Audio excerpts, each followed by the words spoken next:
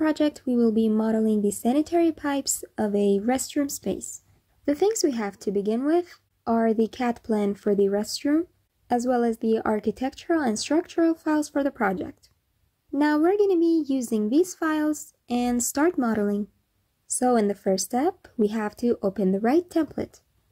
I'm going to go and click on New, and then from the window that appears, I click on the Browse button, and then go to the English folder, and then look through the templates, then select Mechanical Default Metric and open it. After that, we need to make sure that project is selected here, and then click OK and wait for the uh, modeling space to load. Now that this area has been loaded, we're going to link the architectural file into Revit so we can have it right in front of us. So I'm going to go up to the Insert tab and then click on Link Revit. Then we're going to go to where our files are located to the project. Then we're going to go in the WC project folder, which is for the restroom, and then Revit folder, and then Arc and Structure. Now you're going to have to look through all of these files and select the one that is compatible with your version. Architectural and structural revits have been modeled into one single file for this project. I'm going to select this one, then click Open. And now I'm going to have to open one of the elevations and align the levels of the template which we've opened with the levels of this architectural file which we've just linked into Revit. Remember that it makes no difference which one of the elevations you open. For example, I'm going to select this one, East. I'm going to double click to open this East Mechanical View. Now, if I move my mouse around here, I can find the levels which were in the template file. I'm going to click on one of them. Then I'm going to take this circle next to its header and I'm going to drag it. And then move these levels out of this architectural area just so I can see them better and be able to figure out their elevations.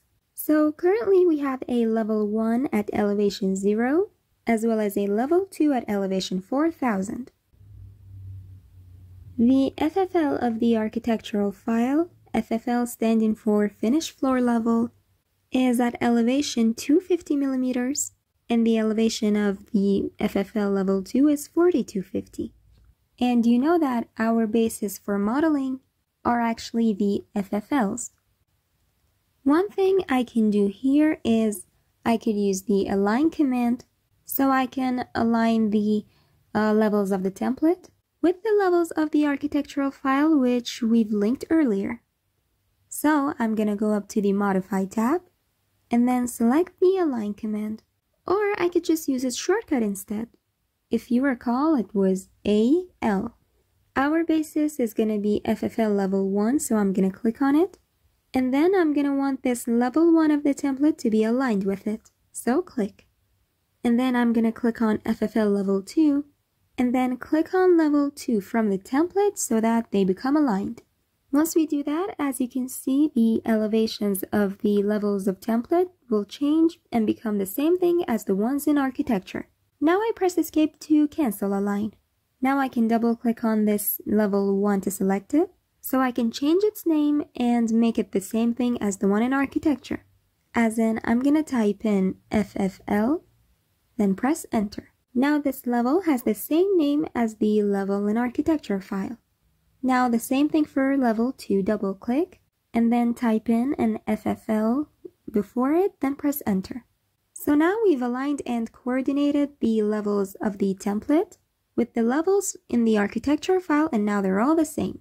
Now this architectural file has some other levels as well, most important of which is the level 1 which we were focusing on. As in I would want to draw the sanitary pipes of level 2 right in the ceiling of the level 1. Now I'm going to go back to one of the plans. For example, I'm going to double click on plumbing to open it.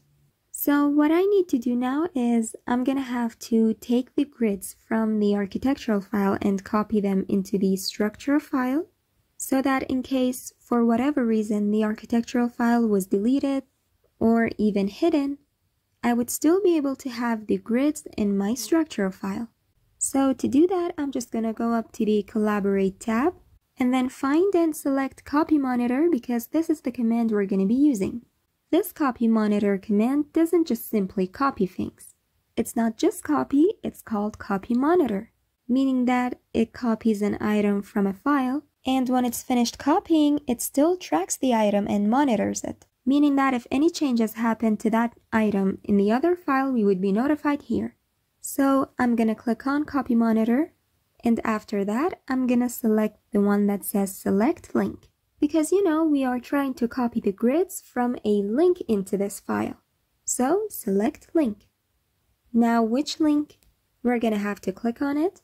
As you can see, if I move the mouse on this architecture, the file will become highlighted. Now once I click on the link, it would be selected and a new tab under the name copy monitor will be added up here. Now in this tab, we're gonna click on copy. We're gonna copy an item.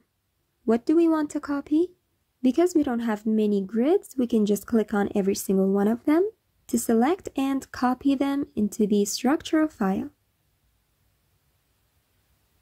Once it copied the first grid, the software gave us a warning saying that this header which we've just copied has the same name of an element in the template file. So then, to avoid any conflicts between these elements, it had to add a 1 in front of its name. That's totally fine. So we're going to click on the next one, and the next one, and the other one. Once we've selected all of the grids, we're going to go up here and click on this green check mark or finish to confirm copying the grids.